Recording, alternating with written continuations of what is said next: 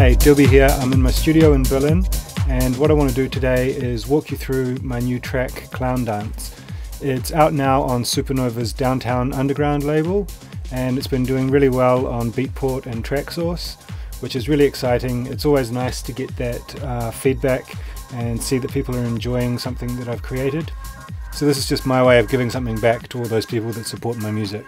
What I'm going to do is go through track by track and show you how the song is made up, um, what the different elements are, and how I've processed and produced all of those different parts to make up the, the record. Clown Dance is actually a really simple track and what I want you to take away from this is that a record doesn't need to be complicated or overproduced in order to be functional on the dance floor and to do well in the charts. Basically the track is built around a main theme and all of the elements that I've added have been selected to work around that main theme and to develop that into a full record.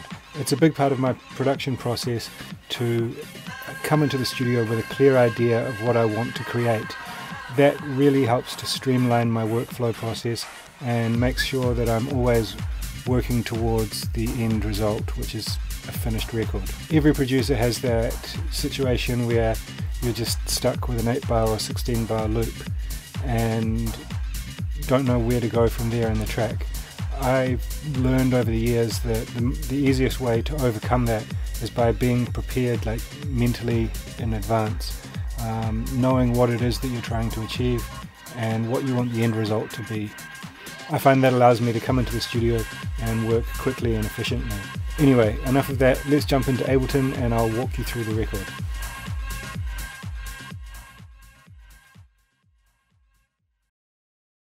All right, so here we are inside of Ableton. Now, the first thing you'll notice about this project is it's actually really simple. Um, the whole track really revolves around this kind of main disco sample, which is kind of the providing the theme of the track. It comes from like a full old disco record. The idea that I had when I came into the studio to make it was um, basically I found this cool sample which I wanted to flip into like a filtered disco house record, um, kind of like a bit of a throwback sound, but done with kind of modern, punchy, big production techniques. And I did this project super quick. Basically, I think I went, I was DJing that night and I went into the studio in the morning and I think this probably came together in somewhere between four and six hours, and I played it out that night. What you're going to see from this project is um, what I really want you to take away from it is that a track doesn't need to be complicated to work, and in fact, um, the more simple the idea and the and the kind of or the more simple the production, um, it kind of ends up being a stronger track because you've got this strong main idea and everything is working to support that idea. Anyway, that said, let's get into the breakdown of the track. We'll start with the kick and the bass.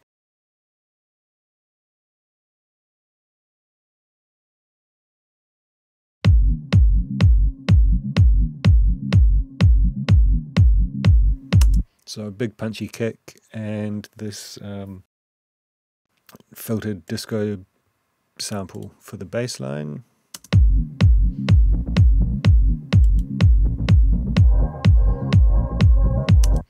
So this sample here is kind of providing the basis of the track. Um, it's like a full, it's a full disco record. It's got drums, um, instrumentation, vocal, everything in it. So what I've used it for here is the bassline. And the way that I've done that is I've filtered out a little bit of the um, the extreme sub with um, an EQ here. I'm pumping up a bit of the low mids and a bit of the um, upper kind of sub harmonics because I'm I want this to be acting as a bass line and it's got a lot of other content in there. It's also an old record, and old records weren't produced in the same way. They didn't have as much compression, as much limiting, and they didn't. They definitely didn't have as much low end um, or as much emphasis on low end as a modern um, house record does. So I've just kind of pumped up that those frequencies a bit so the bass punches through. Then I'm using a compressor here to really slam the um, slam the signal and kind of push everything together. Um, which again is just going to make sure that because it's it's like a live bass play being played, which has um, a lot of dynamics. And what we what I want from this is just a really strong, solid low end, but with that still that kind of disco vibe and that disco groove. So, um, yeah, there's the compressor. Then I've got a Waves RBass, which is adding some harmonics in the low mids and then of course a filter which is cutting off the um, high frequencies so that we're just hearing the bass. Um, this is being automated throughout the track to open up the um, open up the cutoff and allow more of those um, high frequencies through that kind of that that automation that goes through the record just kind of helps to create flow and um, build up tension and release um, in the record, and that really kind of transitions through all the different sections.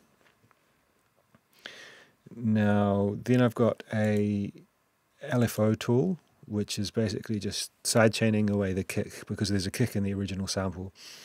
So without the LFO tool, ah, sorry, next up I've got a low cut filter, which is just in the in these break sections.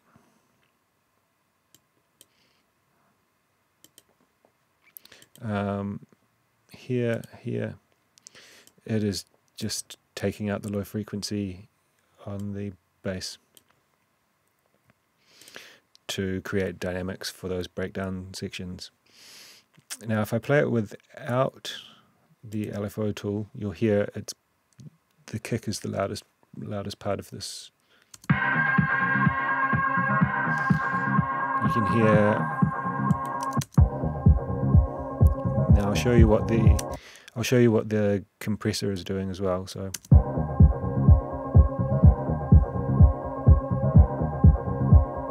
there's a lot more dynamics. The the kick drum is really the main focus of the low end, and the bass is a bit more low, um, lower in the mix. But by using this this crazy um, loud compression, I'm able to push the bass, like the actual played bass line, um, a bit louder in the mix. But this is also pushing the kick louder. Um, so to duck that out of the way, I use the sidechain from the LFO tool.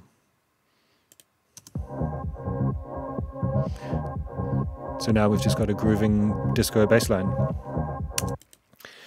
Um, supplementary to that disco bassline, I've got a a few uh, additional notes which are just being played from Omnisphere. And this is just like an FM bass sound. I've taken away the, um, I've filtered out the, the high frequencies, done some absolutely ridiculous EQing here. Um, looks a bit unnecessary. I, like I said, I just did this record super fast and then didn't really go back and change much um, other than the mix. Uh, so it looks like I've just I've done that to get the sound that I want. I've taken away the like 8.5 dB of gain because this is bo boosting a lot in the low frequencies. Um, so I've just I've done that in order to make the overall volume the same. So it's just kind of changing the sound. I've added a bit of overdrive to create some more upper harmonics and distort it a bit. And then I've got the same low cut there and the same um, sidechain, which is just ducking it out when the kick's playing. So both of those together. So that FM bass just kind of provides a bit more of a focused bass sound and a bit more of a groove that's turning around at the end of each bar. Um, on its own, it really wouldn't be enough to support the theme for the whole for a whole record.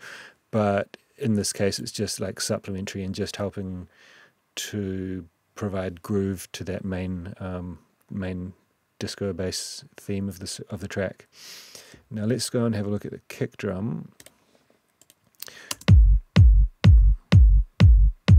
So that's you know a big chunky um, raw kick drum sound.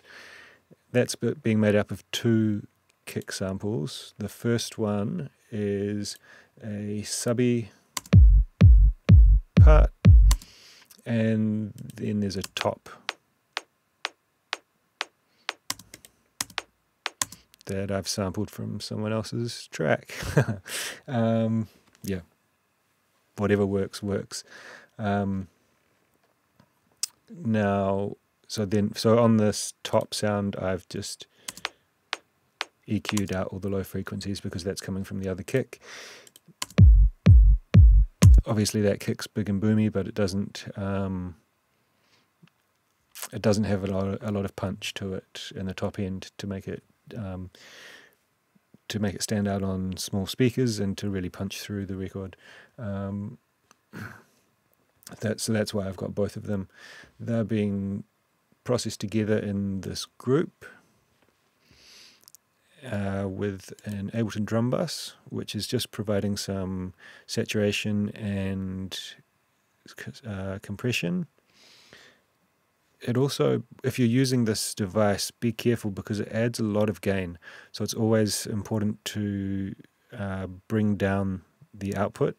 Um, just the default setting adds about five or six dBs of of gain. So make sure if you use it, you always pull down the threshold. Uh, pull sorry, pull down the output. Okay, next up on the kick, I've got an EQ here, which is just rolling off a bit of the tops. I think from that top kick sound, there's a tambourine in there.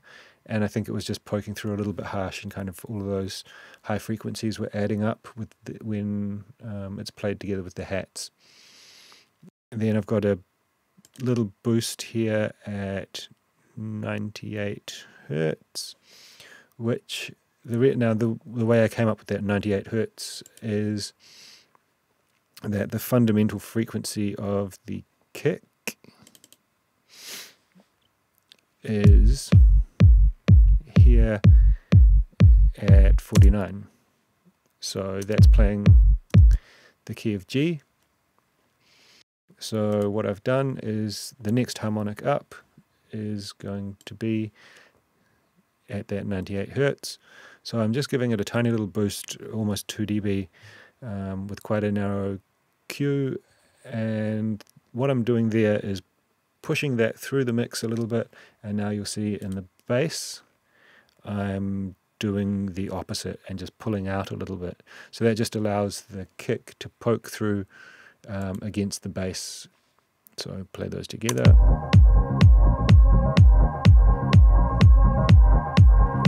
So as you can hear, those, are, those two elements are sitting quite nicely together in the mix.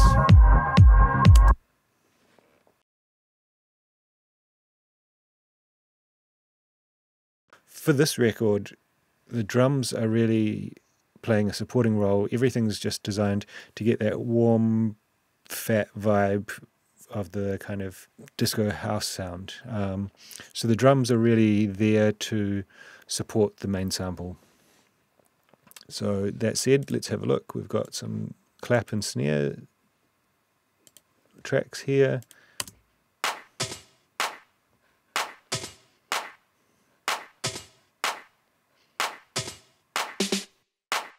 Cool. So there's just a few different samples laid on top of each other.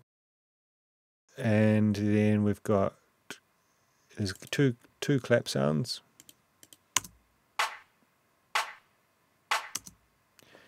Okay, a nice bright open clap sound with a bit of width.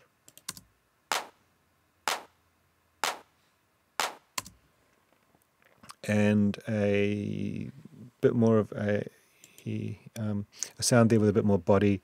It sounds like a 707 or something, um, some kind of analog drum machine, and those two are basically playing together to the first one provides the kind of brightness um, and intensity, and the second one provides the body and the punch. So here's the lower one.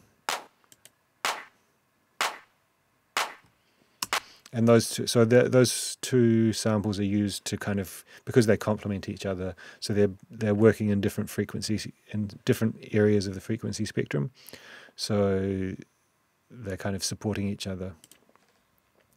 Uh, next up, got this groove clap. So that's just playing after every second, um, every third kick drum. So it just provides a bit of groove, a bit of shuffle with the kick, with the other claps. So it just kind of creates this rolling um, feeling in the drums. Next up, I've got this snare sound which is just creating a fill. Um, so I've got that happening like a short fill every four bars and then a longer fill every eight bars.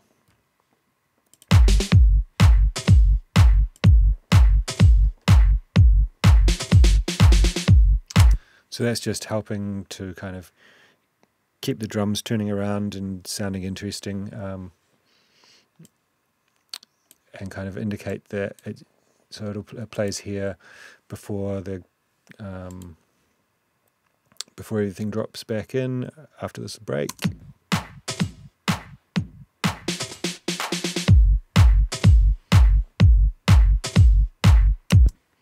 Next up, we've got the hats.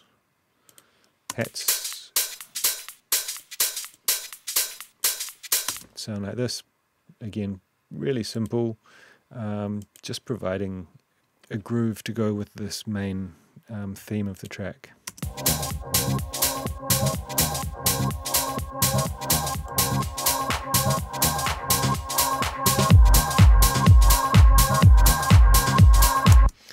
Everything is building around that main that main theme.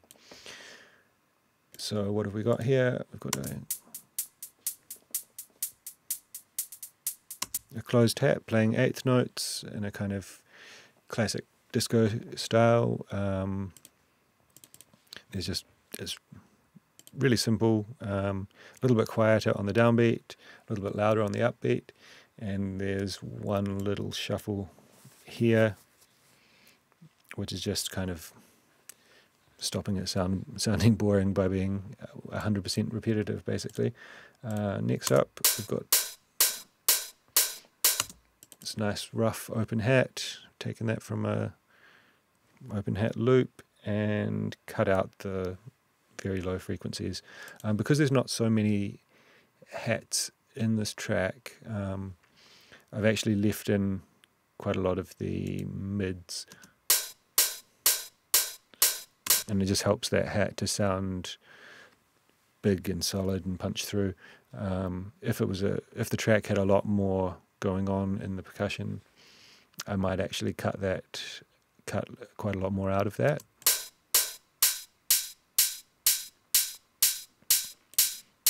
But in this case, that just makes it sound a bit too thin. Now I've got a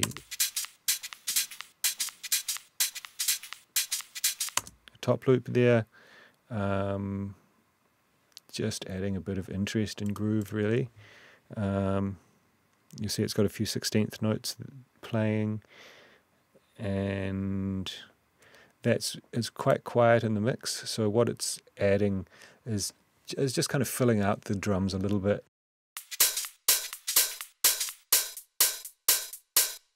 It doesn't have a lot of character or attitude. It's just kind of filling out a little bit of the groove.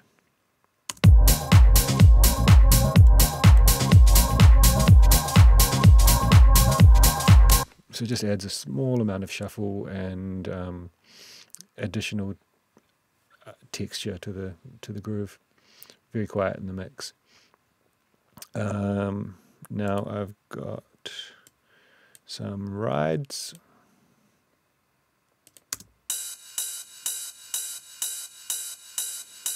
Big gritty open ride sound, and that's just used to pick up energy here after the after the break.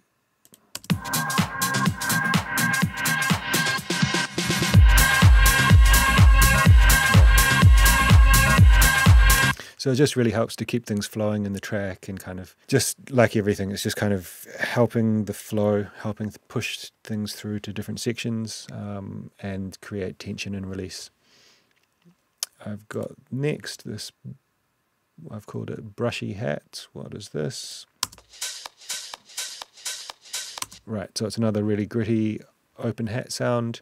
Um, and by the looks of things, it's doing basically the same thing as the ride, but it's just providing an alternative um, texture to keep things interesting.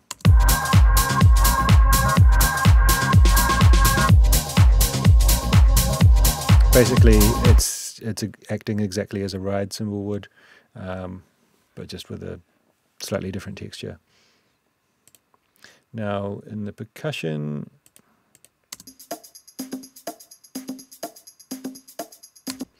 Right, so there's just a short, simple bongo loop with a little 16th um, closed hat or tambourine sound. I'm not too sure exactly what it is.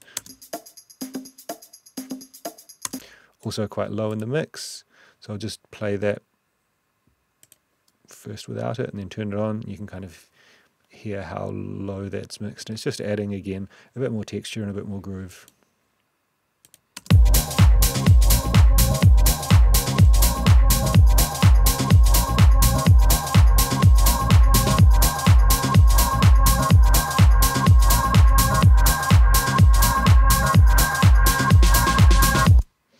Right. So that's the drums, really simple but effective. The takeaway from that, I would hope, is that it doesn't need to be complicated. Um, depending on the track, it's the most important thing is the end result, and um, the the elements should work to support each other and to kind of create the final outcome. Now, all those drums I bust together so that I can process them. Um, first of all, um, so that I can kind of filter them um, as one section, as like a drum section. So in this, for example, in this breakdown here,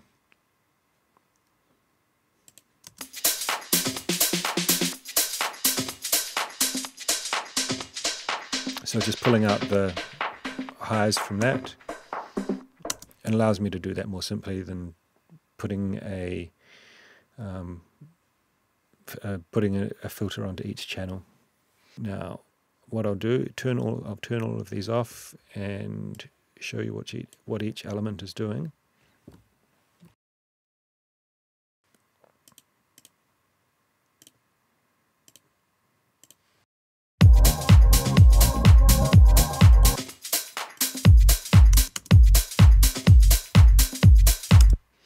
So first up we've got a Slate Digital virtual mix rack and I've got the Hollywood Virtual Tube collection console here. Um, that's basically just adding some saturation to the drums.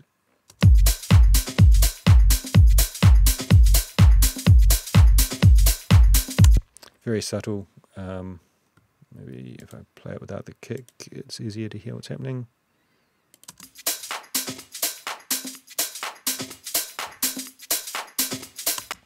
So it just brightens up the highs a little bit and kind of helps everything gel together. Um, next up, I've got a compressor here, Slate Digital VBC Grey.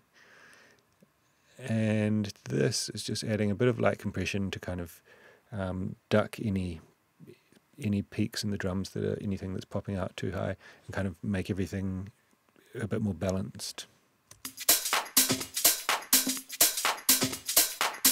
So that's just really catching the peaks of like those open hats or the, when the when the rides or the brushy hats are playing, um, it's going to build up a lot of energy. When that volume builds up, it's just going to pull it back a, a bit, and it's pretty subtle, up to about 3 dB, I think. Yeah, so just 2 to 3 dB, and I've got a little bit of makeup gain, which is just helping push all of the other elements up in the mix. Now the next thing I've got here is another compressor which is adding some parallel compression. Now the settings on the compressor are really slamming the the drums, but I'm only using 25% of that wet mix. Um, I'll show you what it sounds like with the full compression. So it's a bit crazy and overdone. Then I'll bring it into the 25% and you can kind of see that it just adds some glue and some warmth and kind of helps some of the like 16th swing notes to sit up a bit more loud in the mix and everything to kind of sound a bit more present.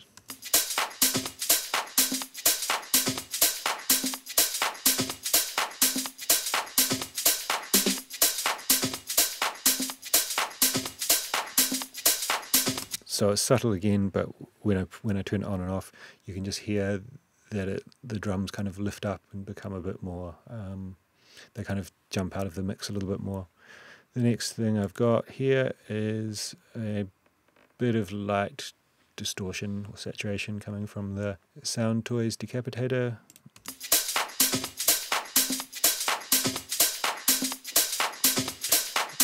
and again that's just adding like a final little bit of glue to the um, to the drums to help everything sit together as one unit. Now all of those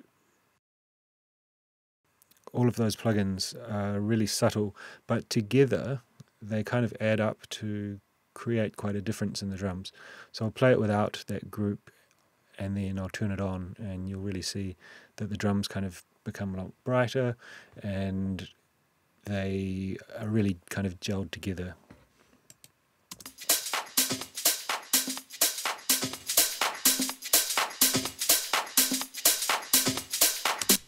I'm using a send to send that to some room reverb. Bring up the return channel here. Now I'm sending all of the drums to that reverb as one for the exact same reason that the reverb is being applied to all of the drums. It's a room reverb, and the idea is to make it sound like they're all in the same room. So that's just the sound of the reverb playing by itself.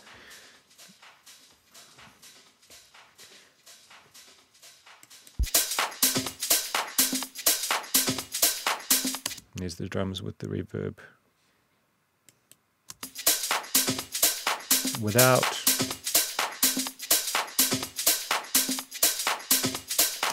so it doesn't add like it's it's it's a very subtle change, but like I said, it's just to make it sound um, make everything sound cohesive and together. What I'm using for that is a Slate Digital Verb Suite Classic. Because that's being used in a send, I've got the dry wet up to 100%. Yeah, it's a short short room reverb. This is a convolution reverb unit, so that uses um, it's basically modeled on the sound of a old analog reverb unit, I think. What I'm doing to that is cutting out all of the sub and the low mids, as I don't want that um, those frequencies being doubled up and to, and muddying up the mix. Then what I'm doing now, this is quite interesting. I'm sidechaining the reverb, the drum reverb from the drums themselves. So what this is doing is the reverb's playing, and then the drum, when the drums actually play, it's getting ducked out of the way. It's all slightly lowered in volume, and that just helps the drums to punch through. But then when the when the initial drum sound stops, the sound of the the volume of the reverb increases again, and helps to create the atmosphere. So you kind of get the best of both worlds. You get this these atmospheric sounding drums, but still really punchy.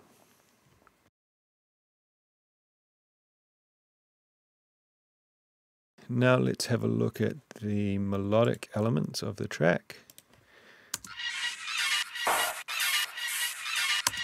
Okay, first up I've got this disco stab.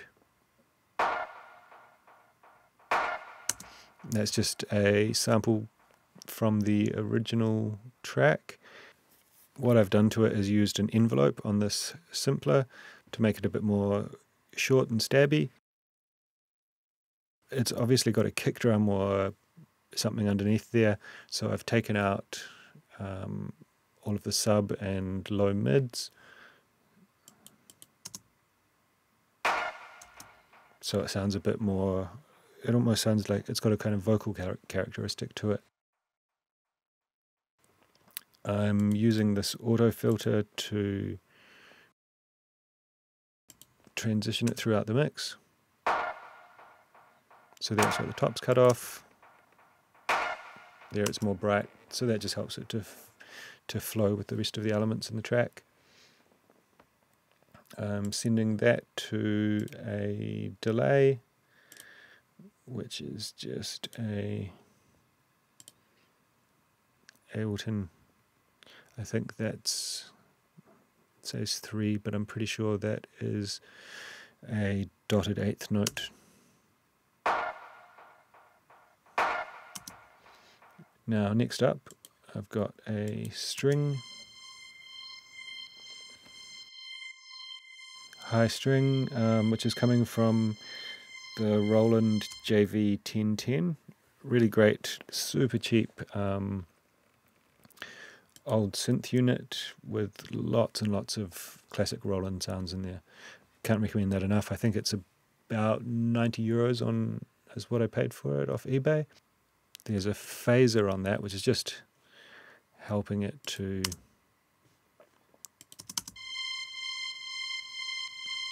so that's pretty standard sounding. The phaser basically just makes it sound a bit more interesting. Next up I've got this disco loop, which I think I, which I think I've taken from another record, um, another disco record, which is in the same key, and basically I've sampled that and cut out all of the low frequencies and kind of EQ'd it and chopped it together, resampled it, a bit of compression, LFO tool again to duck it away from the kick, some eighth note delay, the ping pong, just to kind of give it a bit of width, sit it in the mix, and then again a filter just to bring it, um, which is automated, just to bring it up and down in the mix,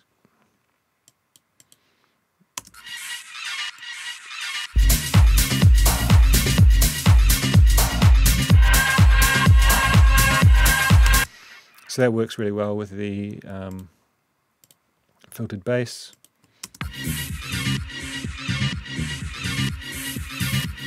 Exactly the vibe I'm going for, and that's just another texture to kind of to kind of keep things interesting, keep things changing up.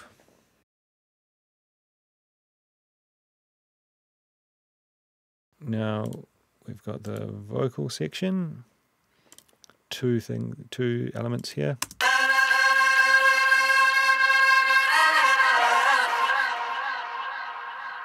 So that's coming from the original track. Um, you heard it in the full sample that I played at the start.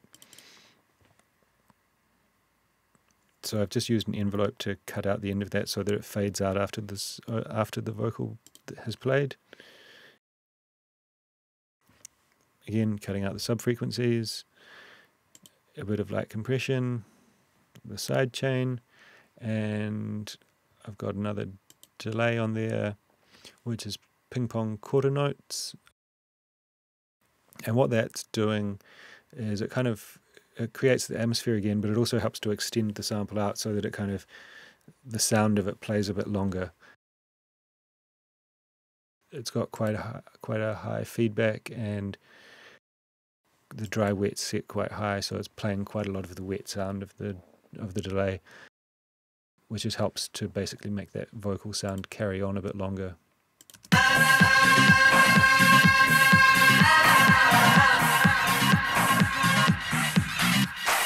So you can see the the vocal actually kind of stops here, but it's with the delay it continues on playing until the drop here.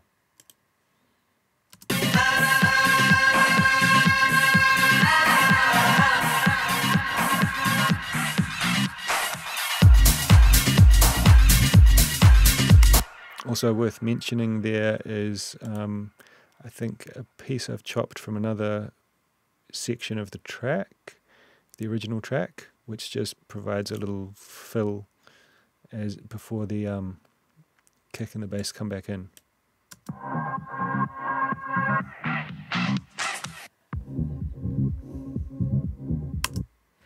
Next up in the vocal section, I've got this little chop.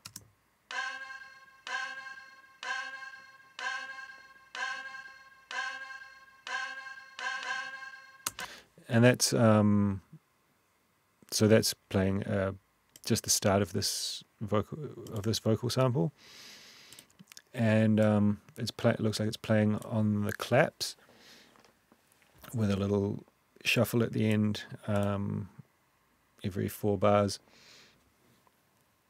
Now that's just kind of it, it's just a texture that sits on top.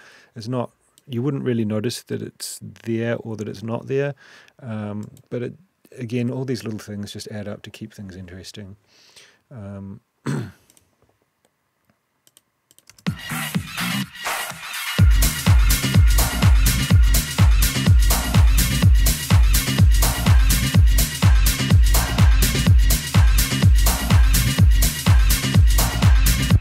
so it's not making or breaking the track at all at all but it um, it just helps to kind of keep things interesting add another little dynamic layer to the track that can kind of come in and out and make sections feel unique to each other.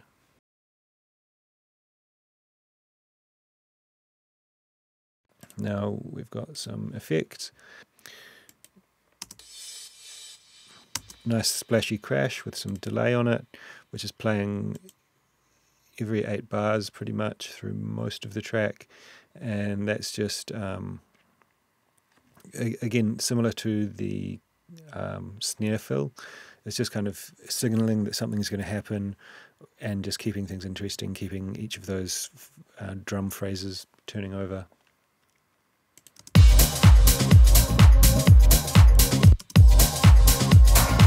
Really low in the mix, um, it's just subtle.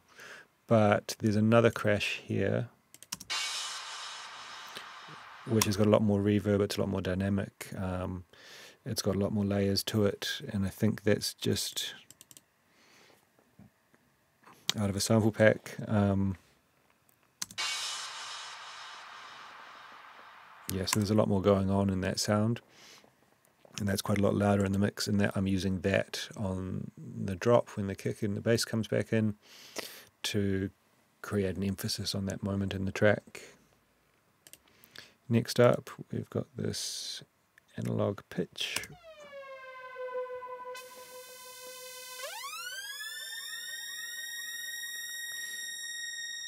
So that's quite like a bright, glassy, um, pitching filter sweep sound. Um, and basically, I think that was, I just found it and thought it was a cool, interesting layer that fit quite well with the rest of the track.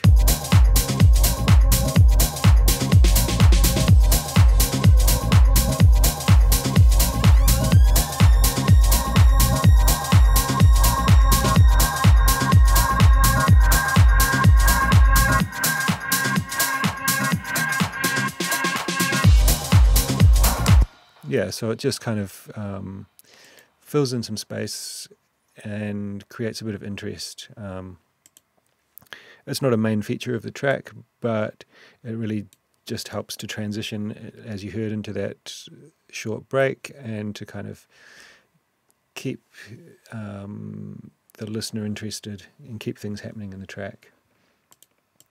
I've got this LFO riser, happens once in the main break.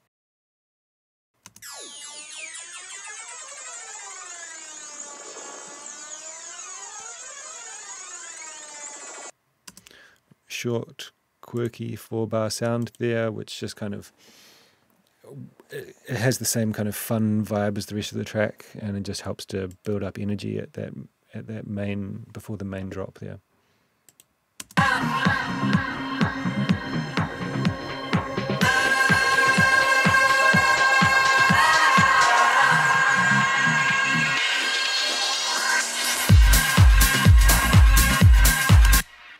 Okay, additionally, I've got this panning riser, which is doing the same thing. So that's just panning side to side and pitching up in um, in frequency. It's really really low in the mix, and it's just providing a bit of ear candy on the sides of.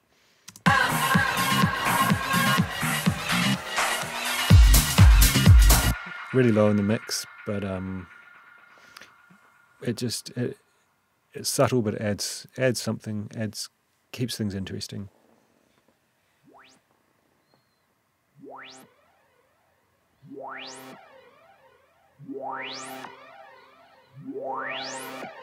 Right, so it's just kind of a um, pitching filter sweep sound um, that's kind of increasing in length, and it's got some delay being and reverb being added to it and it just kind of builds up. Um, what I've done here, added a fade to the sample. So without the fade, I think it's it starts dramatically. Um,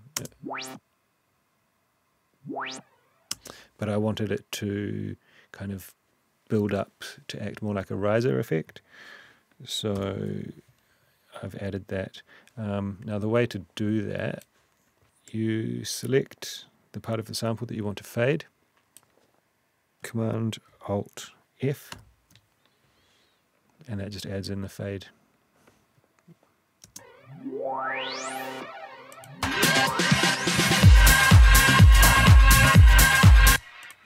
Really cool sound, only plays a couple of times in the track, and again just keeps things interesting, goes with that kind of fun disco vibe of the main sample.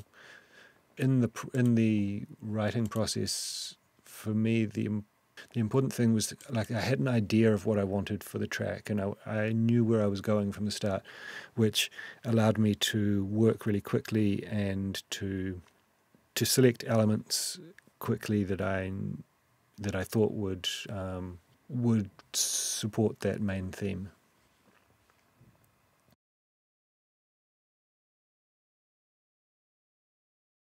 Okay, now I will show you the master bus. Now, one thing I'm using is a virtual summing. So it's a virtual analog summing um, mixer. This is from Slate Digital also. Um, now, what happens here is on each of these groups, effects, vocals, melody, and then these two buses, the drums and the kick and bass. I've got a virtual mix rack which has the Slate virtual channel console plug-in on in it. These are each set to group one, which means that all of them are being summed to the same group. Then on the master, I've got the same thing but with the mix bus version. So it's receiving the signal from all of those other um, virtual console collection channels and they're all being grouped together here and that allows me to um, control the volume and add some drive to this. Now, what this is doing is it's emulating um, an old classic console. I'm, I always use the Brit 4KE, which is an emulation of the SSL E channel console.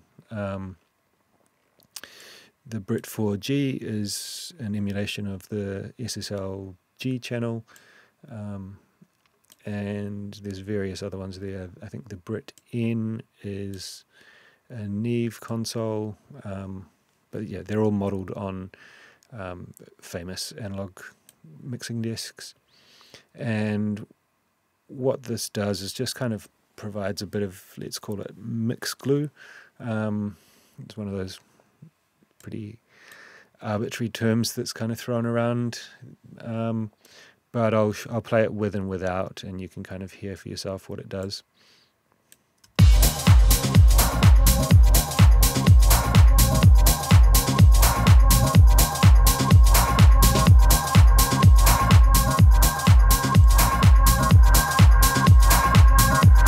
So it just kind of provides a bit of warmth and fatness in the bottom end, a bit of brightness and width to the tops. These Slate digital plugins, um, I can't recommend them enough, but they are kind of expensive. I think it's about 180 euros a year for a subscription service. Now, moving on. Now, with as far as mastering goes, I'm not by any means a Pro.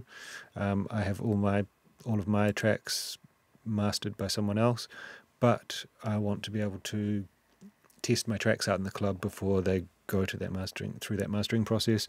So all I'm really doing here is getting them up to a um, industry standard loudness. Now I do that using two limiters. The first one is the Waves L2 here.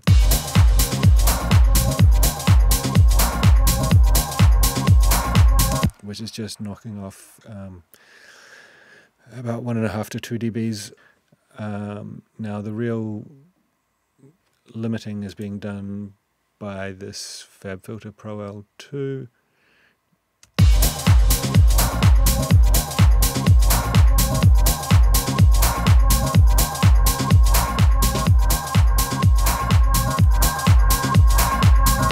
So that's just bringing the overall volume of everything up, um, kind of push squashing the tops of the transients a little bit. But I've got the settings here um, to try and preserve as much of the punch as I can. So the reason I'm adding that limiting is to get it to an industry standard loudness so that I can play it alongside tracks that I, that you would buy off Beatport in my DJ sets.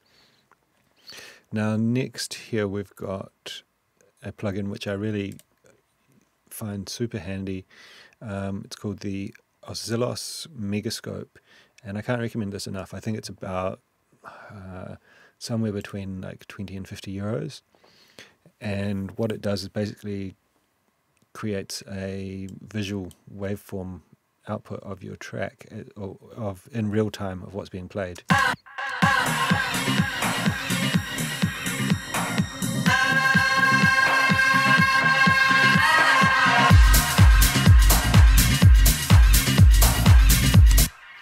Now, when you're mixing, I think the most important thing is to use your ears, but this just provides another, um, like a visual cue to see, um, to give you another layer of feedback. Let me play the kick drum and say this FM bass.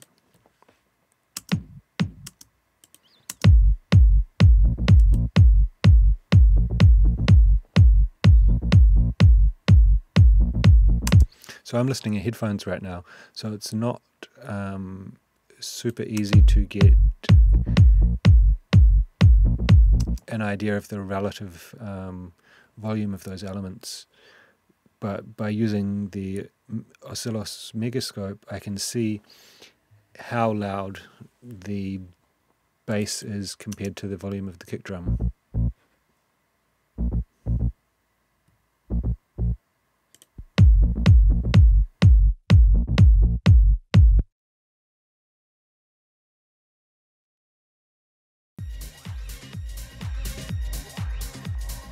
Alright, so I hope you enjoyed that. Hopefully you found it interesting and I was able to convey some of those techniques and uh, you were able to learn something from that. Let me know in the comments if there was anything that I just breezed over and you would like to know more information about or if there is any other topics that you'd like me to cover in future videos. Maybe there's a specific track that you'd like me to do a similar walkthrough with, or maybe there's an element from one of my tracks that you'd like me to explain how I created it, or another production principle, concept, technique that you'd like more information on. I'm going to be doing more of these, so again, let me know in the comments what you would like to see, and let's try and make that happen. Make sure you subscribe to the channel and turn on notifications so that YouTube lets you know every time I've uploaded a new video. Make sure you follow me on Instagram at DilbyDJ for updates on new music, gigs, and everything else that's coming up. Alright, that's everything from me today. Thanks for tuning in. Peace and stay safe.